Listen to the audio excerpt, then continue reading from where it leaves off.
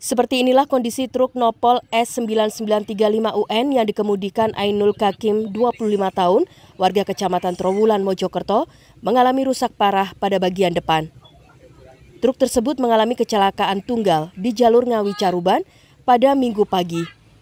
Truk syarat muatan oli ini terjun ke sungai sedalam 8 meter Peristiwa terjadi saat truk syarat muatan paket oli dari Surabaya menuju Bandung itu melaju dari arah Caruban untuk menuju ke Ngawi.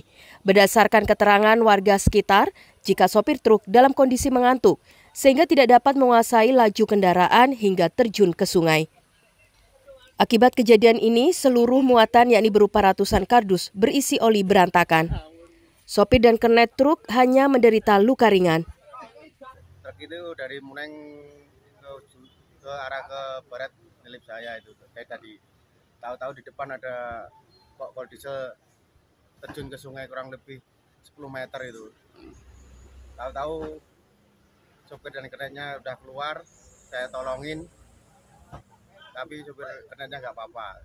Untung selamat. Itu muatan apa pak? Muatan oli.